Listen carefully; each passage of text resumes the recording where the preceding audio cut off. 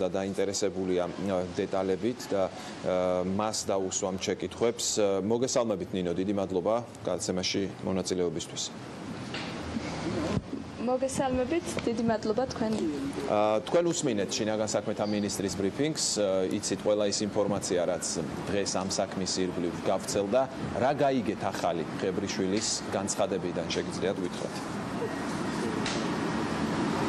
ესე იგი, რა თქმა უნდა, მოვუსმინეთ ამ ბრიფინგს დიდი ყურადღებით. ახალი გავიგეთ მხოლოდ ის, რომ განთავისუფლდნენ შინაგან საქმეთა სამინისტროს მაღალჩინოსნები იქამდე, ვიდრე გამოძიების შედეგები, ანუ გამოძიება დაასრულებს მუშაობას ამ საქმეზე. სხვა დანარჩენი განსაკუთრებული სიახლე ჩვენთვის არაფერი ყოფილა. საინტერესოა რა რა გაგრძელება შეიძლება კონდეს ამ საქმეს თქვენი აზრით ის რომ გადავიდა პროკურატურის დაქვემდებარებაში საქმე. ადვოკატი ყავდა რომელმაც თქვა რომ ეს საკმაოდ დაგვიანებულია, სწორი ნაბიჯია, მაგრამ დაგვიანებულია. ფიქრობთ თუ არა რომ ძალიან გართულდება ამ საქმეზე ჭეშმარიტების დადგენა? გულისხმობ იმ თავარ შეკითხვაზე პასუხს ვინ, როგორ და თუ იყო ასეთი რამ, თუ იყვნენ ჩართული, თუ დაადგენს ამას ეს გამოძიება უნდა დაადგინოს, როგორ აღმოჩნდა ეს ადამიანი საქართველოსდან აზერბაიჯანში? იცით ამის დადგენა საკმაოდ მარტივია თუ კი გვექნება ყველა ის მასალა რაც ამოღებულია ვიდეო კამერებიდან მიმდებარე ტერიტორიას გულისხმობ ჭონქაძის ქუჩა და ის მონაკვეთი სადაც უშუალოდ აფგანმა დატოვა სამარშრუტო ტაქსი და დაიწყო ფეხით მოძრაობა და თუ გვექნება საბაჟოზე, ანუ სასაზღვრო პუნქტზე ამოღებული ვიდეო კადრები.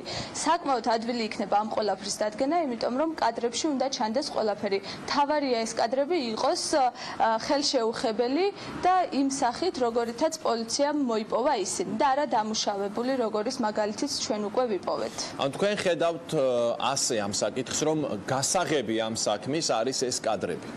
თუ ეს კადრები არ იქნება, რა ხდება, რა ხდება ამის შემდეგ? რჩება თუ არა შანსი, რომ ამ საქმეზე გავიგოთ რეალურად რა მოხდა და ვიცოდეთ სიმართლე.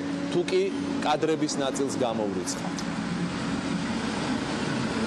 თუკი კადრების ნაწილს გამოვრიცხავთ, მაშინ მეორე შანსი არის, რომ უნდა იყვნენ თვითმხილველები.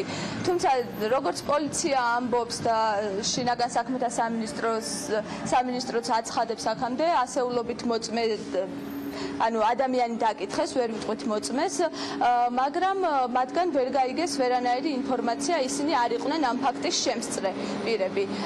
ასე რომ ეს გზა თითქმის გამორიცხულია, თუ კი თვითმხილველი არ აკვავს ამ ამბის და თვითმხილველიც რომ რომც ყავდეს, ნაკლები შანსია იმის, რომ ჩვენს საზოგადოებაში ადამიანებმა გამოხატონ ისეთი გაბედულება, რომ ღიად ისაუბრონ ასეთი მნიშვნელობის საკითხზე და განაცხადონ, რომ აი ჩვენ შევესწარით. ამ ფაქტს მოხდა ეს ეს დავინახეთ ეს პიროვნება რომელსაც სვამდნენ მანქანაში ან სხვა ვითარება აღწერონ. ამის ნაკლები შანსი ამიტომ ერთადერთი ყველაზე მოკლე და ყველაზე მარტივი გზა არის ეს ვიდეო კადრები რომლებიც ძალიან მრავლად არის ანუ ვიდეო კამერები ძალიან ბევრი ვიდეო კამერაა იმ მარშრუტზე რა მარშრუტიც უნდა გაევლო ავღანს იმ საღამოს. დიდი მადლობა გადაცემაში მონაწილეობისთვის. ნინო ბაქრაძე ჟურნალისტი ჩაგვერთო პირდაპირ ეთერში რეკლამის შემდეგ დავბრუნდებით ამავე თემაზე ვისაუბრებთ უკვე ხელისუფლების წარმომადგენელი უპასუხებს. ჩვენ შეკითხვებს ლევან კობერიძე ჩაგვერთვება პირდაპირ ეთერში დეპუტატი